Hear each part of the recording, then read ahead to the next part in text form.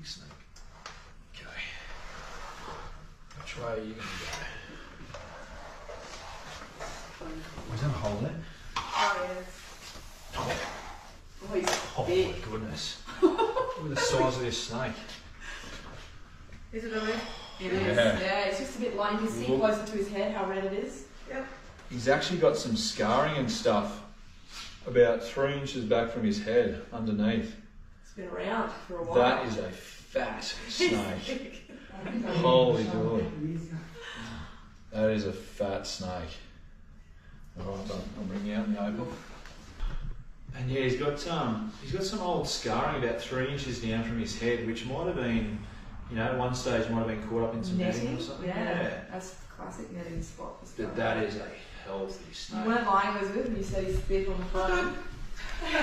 He's so thick. Look at that tongue going as well. yeah, he's. He knows what's up.